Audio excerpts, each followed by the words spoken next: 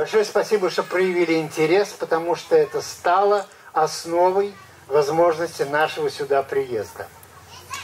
История по секрету вам расскажу такая.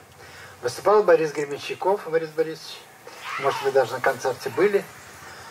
После концерта организаторы его спрашивают, а кого бы нам еще вот пригласить?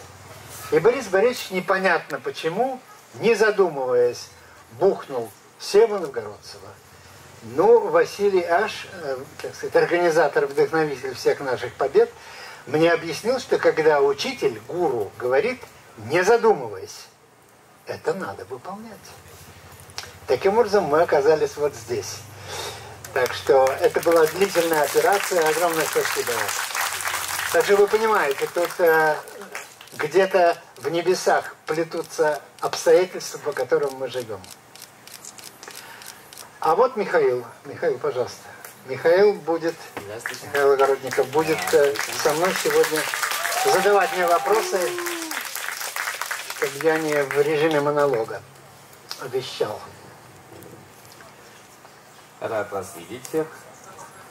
Для меня тоже большая честь встретиться с вами. Тем более большая честь увидеть многих из присутствующих. Мы знакомы давно. Кем-то недавно познакомились. В любом случае, большинство из нас действительно не очень помнят, может быть, дословно сами. Но, естественно, имели честь слышать о вас очень многое из уст людей, которых мы уважаем. Мы вообще, те люди, которые живут в Гоа, к чудесам неравнодушные. Так уж повелось, на чудеса Гоа особенно обильно. В связи с этим первый вопрос. Какие такие чудеса привели вас на BBC? Ну, я эмигрировал в 75 году, и мы оказались, в конце концов, под Римом, в городе Остия. У меня было две профессии. Штурман дальнего плавания и саксофонист.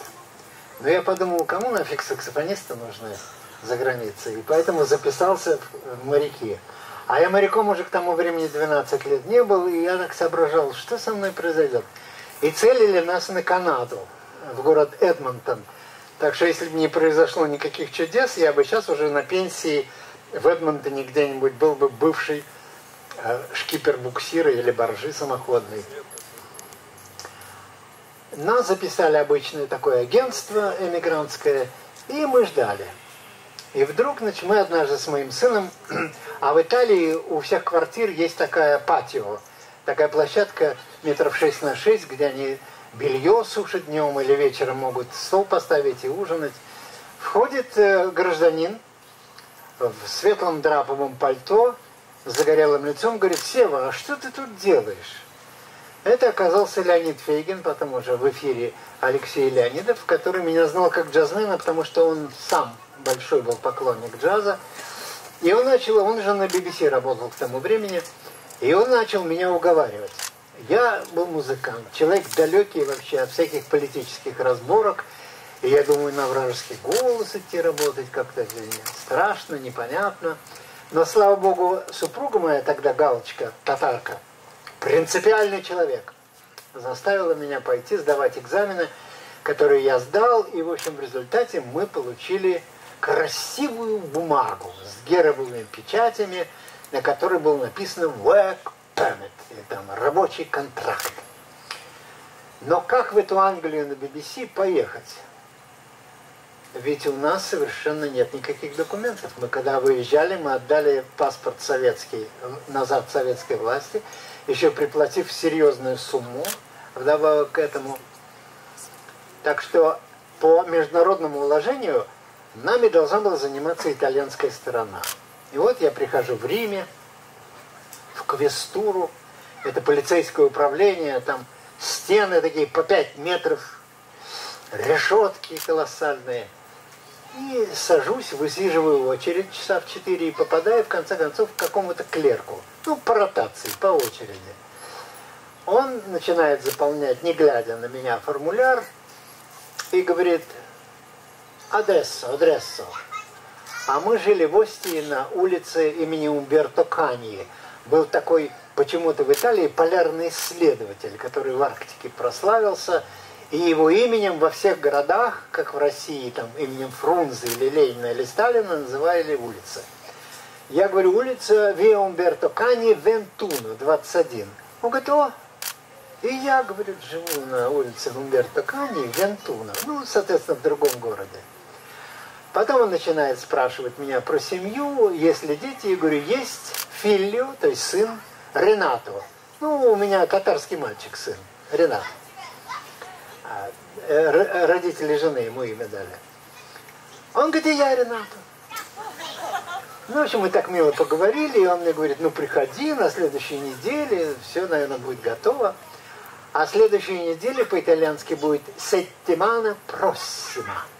И вот это вот «Сеттимана проссима» стало моим проклятием на следующий год или даже больше. Потому что я приходил в очередь, в квестуру, высиживал свои положенные 4 часа, попадал к другому клерку, естественно – и он мне говорил, Сетимана, просим, и отсылал меня назад. Я возвращался домой, а Галочка меня не уважала как слюнтяя, интеллигента и человека, совершенно не способного ничего в жизни сделать. Я говорил, ну, на следующей неделе, она говорила, а как же Славинский? А Славинский для меня был набран на BBC именно из Италии и очень быстро уехал. Короче, хожу я туда без всякого просвета. По старой привычке а я от советской власти спасался карманными книжками. Бывало, едешь в троллейбусе где-нибудь, достанешь из кармана книжечку Pocket Boot Size такую, читаешь ее и отступает вся действительность, потому что ты погружаешься в свой литературный мир. И я по старой привычке достал какую-то книжечку, стал читать, и какой-то голос мне с американским акцентом, с хорошим голосом говорит «Oh, you speak English?» В общем, мы разговорились. Дядька примерно моего возраста, 30 с хвостиком, американский пастор из Техаса. Странная профессия. Работает в Ватикане в кинокомиссии. То есть они там рассматривают, какие э, фильмы показывать верующим неверующим. И он говорит, представляешь, какая странная штука. У меня есть пять научно-популярных фильмов, дублированных уже на русский язык. Давай, говорит, вашим эмигрантам показывать, чего им делать нечего, они тут слоняются вечерами. Но я говорю, конечно, давай. И, в общем, мы начали показывать фильмы. Это такой типичный науч-поп, только с выводом как бы в религию. Я вот, например, помню первый фильм, он был об э, устройстве или о функциях красного кровяного тельца. Ну, вы знаете, мы все дышим, в момент вдыхания воздуха в легких происходит обогащение крови кислородом, причем реакция происходит за доли секунды за какие-то крохотные доли секунды. Обогащенные э, кислородом гемоглобины все эти клетки идут куда им надо, отдают кислород, забирают углекислоту и возвращаются назад. Для того, чтобы красное кровяное тельцо работало наиболее эффективно, нужно, чтобы у него была максимальная поверхность. Из математики известно, что это такой вот бублик без дырки, такой двойной тороид, такая лепешка с вогнутыми э, серединками – и когда удалось, наконец, рассмотреть в крупный микроскоп о том, что эритроцит имеет именно такую форму, то сказали, ну если законы математики и законы физической функции совпадают, то тут налицо явно какой-то замысел или по-иностранному дизайн. И если есть дизайн или его признаки, то может быть есть и дизайнер.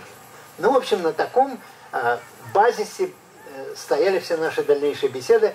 Пастор этот Джоэль его звали, чтобы меня подготовить, чтобы у меня был правильный терминологический запас всех нужных слов по религии, по Библии.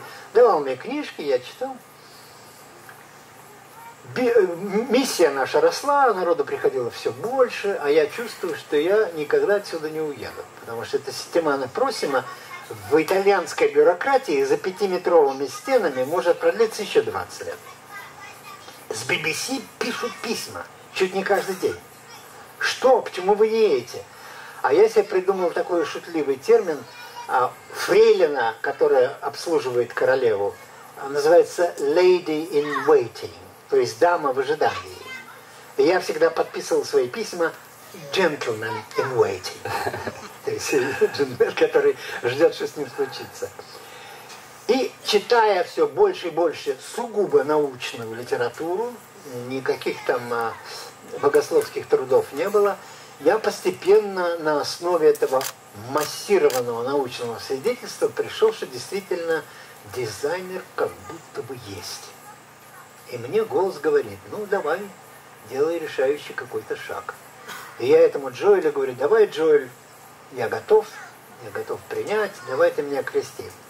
И вот представьте себе, в центре Рима, в протестантской церкви там 19 века, в мраморной купели, с полным погружением, в белом хитоне я был таком. Специальную службу мне Джоэль сделал. Значит, меня погружали, как, э, как у них положено, назад головой, с головой под воду. Сильное было, конечно, впечатление. Ангелы летали. Я три дня ходил как бы немножко не по земле. Собираюсь свою квестуру. Высиживаю четырехчасовую очередь и попадаю по странному совпадению к тому самому клерку, которого я видел больше года назад, который мой формуляр заполнял. Он на меня смотрит рыбьим глазом, потому что мимо него прошли сотни, если не тысячи просителей. И говорит мне сакраментальная Сеттимана Просима.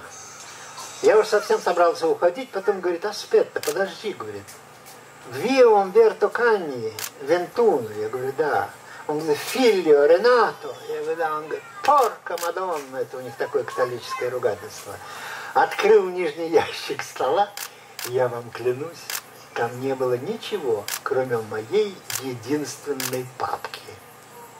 И он на этой папке написал «Ургенте!» Срочно! Через 10 дней мы вылетели в Лондон.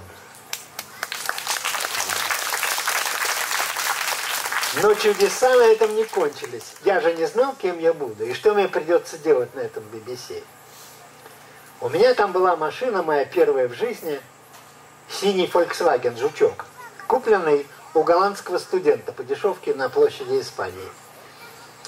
А у голландских машин четыре цифры и две буквы. И вот уже в Лондоне, разглядывая через увеличительное стекло эти старые итальянские фотографии, на зернистой карточке я увидел эти буквы, которые определили всю мою дальнейшую жизнь. Эти буквы были DJ. То есть все уже было решено заранее. И понятно, что попав на BBC и ставший этим самым диджеем, я понял, что с небом шутки плохи. И что к работе надо относиться как следует. Но так и старался много лет.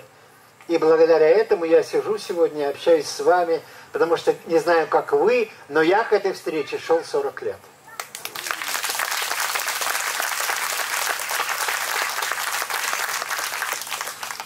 Спасибо. Большое наслаждение присоединиться к этому творческому вечеру и на вашем фоне даже помолчать красиво. Мы о чудесах и скромный коллектив этого творческого места, который называется Эш, мы все в гостях здесь сегодня, подготовили к вашему приезду тоже небольшое чудо. Творческий коллектив поистине творческий. Ребята носят такое название «Чудо». Вот мы хотели бы представить вашему вниманию. Большое спасибо. Группа «Чудеса».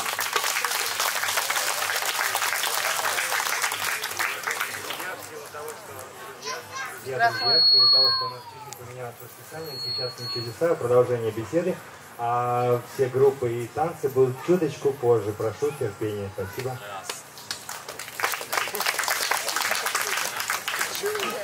Алло. Тогда продолжим. Собственно говоря, вся история наблюдений за вашим творчеством, она такова, что вам за эти годы удалось создать поистине свой стиль общения с гостями в эфире. Поэтому, продолжая тему чудес, хотелось бы спросить, а есть ли какой-то секрет, как вам удалось свой стиль создать? Ну, я пришел на BBC работать 1 э, марта 1977 года, и тогда э, поп-программу вел другой человек. Ну, я скромненько ходил на работу, переводил, что там полагается. А работа у нас была такая, просто переводчик. Приходишь э, в контору, тебе выдают лист бумаги на английском языке, сообщение какого-нибудь корреспондента или еще что-нибудь, или новости. Ты переводишь на машинке. И либо идешь в студию, зачитываешь живьем, либо идешь в студию, предзаписываешь.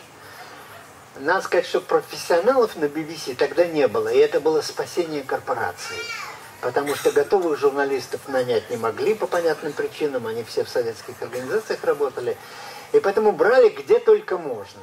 И когда я пришел на BBC, то там были мой приятель, значит, вот, Лео Фейкин, который меня привез туда, он мастер спорта по прыжкам в высоту, закончил Лесгов, он тренер.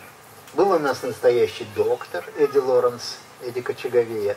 Можно было всегда к нему сходить, полечиться в перерыве.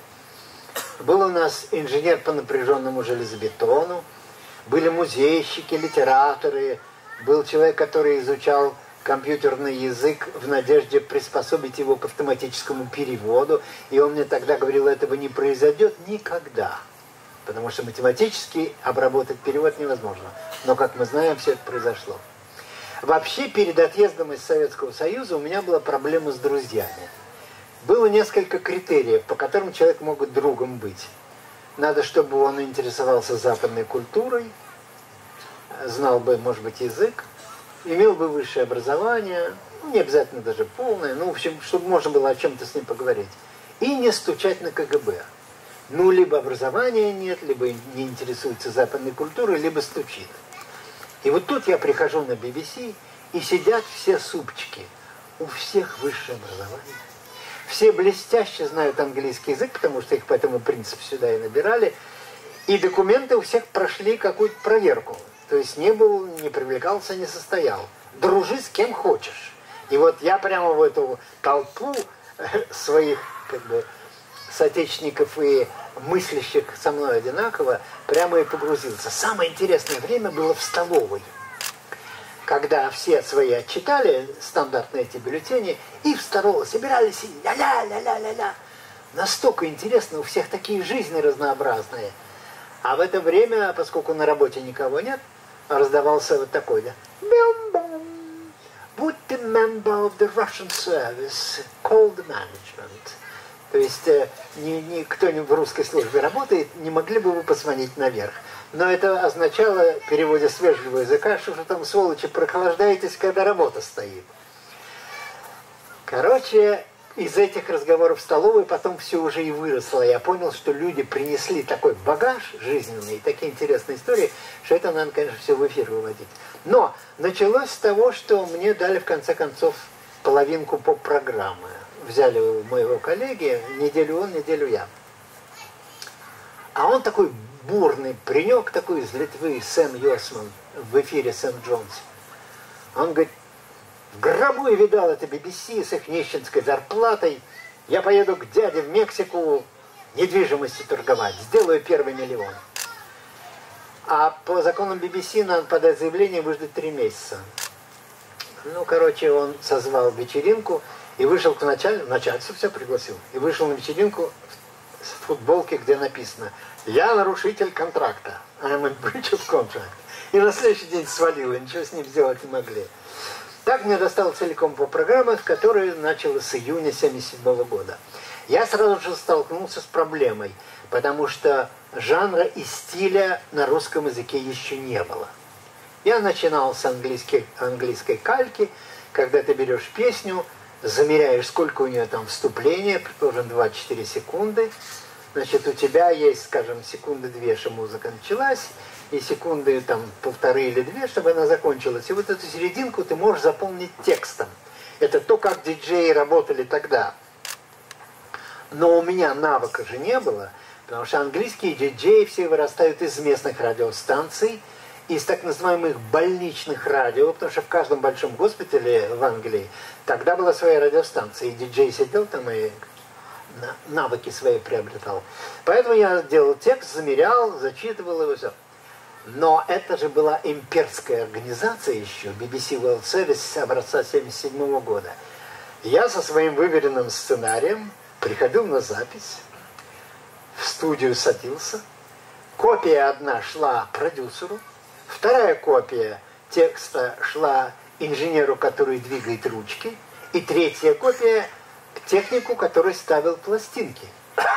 Потому что это все должно было быть синхронизировано. И мы сначала репетировали секунд минут 40.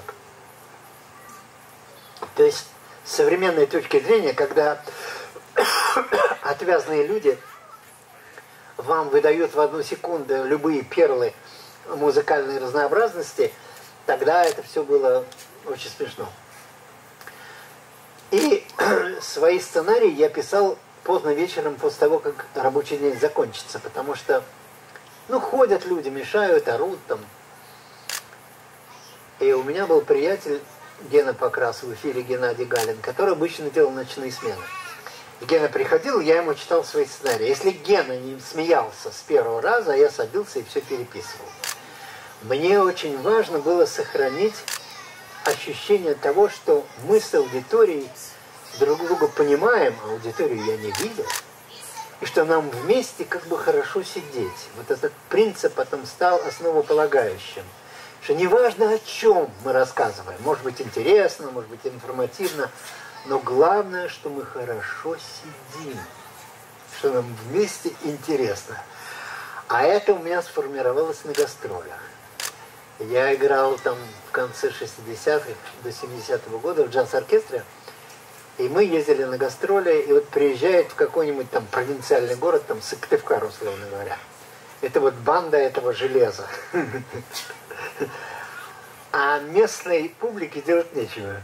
На концерт идут все, неважно, понимаешь ты это или нет, твой жанр или нет – местные администраторы для того, чтобы привлечь публики побольше, иногда вешали три афиши, склеивали вместе. Получался еще какой-то сводный ансамбль Александрова приехал. Сто трупа барабанов. И тогда уже народ шел. Но в первых рядах сидели всегда местные партийные и прочие влиятельные люди, которые в этом деле, ну, совершенно, как говорится, ни уху, ни рыла. Но надо соблюсти приличие, декором. вот они сидели и слушали все наши эти американские джазы. А глаза у них при этом стеклянные. Им это неинтересно, им это не нужно. Они сидят просто, что положено. И вот этих стеклянных глаз, насмотревшись я, твердо себе решил, что я в радио их не допущу. Я буду делать все возможное, чтобы люди при этом оставались как бы тактильными. Но связи не было никакой. Вы понимаете, конец 70-х годов – застой глубочайший. Письма не проходили вообще, потому что на каждом почтамте, в каждом городе Советского Союза сидел так называемый иллюстратор. У них, мне потом уже рассказывали, я сам этот аппарат не видел, это вроде титана, который варят чай, знаете, вот в железнодорожном вагоне. Из него все время шел пар. Пар шел по специальным трубкам. А на конце трубок были такие вот, как клестирные наконечники. И вот этим паром они... И открывалось письмо. Они открывали, смотрели, можно пропустить или нет. Чаще всего не пропускали. И заклеили гумиарабиком. И, значит, если письмо пропускают, оно идет дальше. Я потом их рассматривал в увеличительное стекло и видел, какое открывали, какое нет. И мы по этому поводу массу хохом сочиняли. Но люди пробивались как могли в основном письма сначала шли через третьи страны. Есть, были ведь у нас кубинские студенты, сирийские, а, албанские, я помню. И вот они все письма вывозили, и эти письма попадали в конце концов ко мне. Я помню, что принесли однажды неказистое, помятое, подмоченное письмо. Как мне сказали, что оно пришло и было выловлено в английском канале в Ла-Манше, оно было в бутылке. Какой-то моряк бросил с борта корабля и написал адрес. BBC Северногородцев. По-русски, коряво. До деревни дедушки. Ну да. Это письмо передали, соответственно, организацию, которая расшифровывает, перевели, поняли, что скорее всего, на BBC во Всемирной службе, отослали Всемирную службу, там вычислили, что это русская служба, и в конце концов принесли письмо мне. Так что истории с письмами были совершенно волшебные. А чтобы, заскакивая немного вперед, скажу, что потом, когда стало послабее, письма хлынули колоссальным потоком. И я уже потом не знал, что с ними делать. Лучшие попадали в эфир, они у меня все подшиты по папочкам. А письма, которые не очень, я тоже выбросить не мог. Это же живые люди мне писали. Поэтому я их в тюки связывал и укладывал куда-нибудь там на антресоле. Потом я переезжал с квартиры на квартиру. Одни семьи рушились, другие возникали – но письма эти я так и не мог выбрасывать. Их становилось все больше и больше, тюки все эти нарастали. И в конце концов, года за два до ухода с BBC, мне удалось всю эту коллекцию пристроить в Америку в архив Гуверовского института.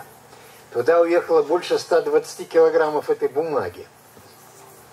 И могу вам сегодня с гордостью сказать, что в Гуверовском архиве, который уничтожению не подлежит, находится писем, занимающих 6 метров 34 сантиметра полочного пространства. Семь футов под килем, 6 метров писем. Да. Ну и когда меня спросили, что эти письма означают, я сказал, что, конечно, становление молодежного сознания в 70-е, 80-е годы 19 а, века, 20 века. Но это к чему? Я всем писавшим говорю, ребята, если вы писали, значит, ваши письма в Гуверовском архиве по вашей клетчатой бумаге, по которой выводили шариковые ручки, лет через 300 докторские диссертации будут сочинять. О!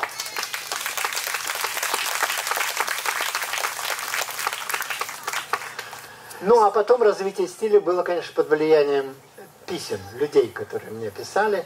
Говорит, а вот расскажи нам это, давай нам то, это давай нам подробнее. И в начале 80-х стала появляться литература о роке. Появлялись первые книжки, потому что рок постепенно выходил из молодежной моды и становился уже жанром общепринятым. И вот я скупал все эти книжки, которые были, и вот на основе их я начал делать серийные передачи. Там уже народ потянулся, стало интересно. Многие из этих э, серийных передач потом вышли отдельными книгами. Ну, там у меня есть там рок посев, там, там первый, второй, сколько их там было. Ну, в общем, это все существует в литературном виде. И, конечно, ковался язык. Он должен был быть коротким, как у диск-жокея, честным, потому что пафоса молодежь не понимает, там нужно говорить напрямую. И такие шутки должны быть компактные. У меня есть там э, свой идеал. Джон Пил такой, диск-жокей, известный англичанин, который сейчас, к сожалению, умер. Я помню одну его шутку, говорит – на улице Оксфорд-стрит стоит японец и смотрит в карту города Болтона. То есть вообще карта не оттуда, да, он сидит, смотрит, изучает, ну картинку легко представить. Так что из шуток, которые можно цитировать, потому что они все обычно относились к контексту передачи, вспоминаются некоторые есть у Казмы Прудкова, например, стихотворение, называется оно «К древней греческой старухе, если бы она домогалась моей любви». Ну и там текст такой «Отстань без зуба, твои противные ласки» и так далее. Мое называлось «Воспитательница детского сада, если бы она домогалась моих стихов». Представьте себе табурет, детский сад. На табурет встает девочка лет четырех с большими двумя бантами и читает стих.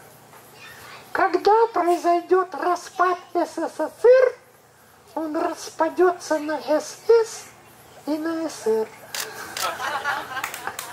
Потому что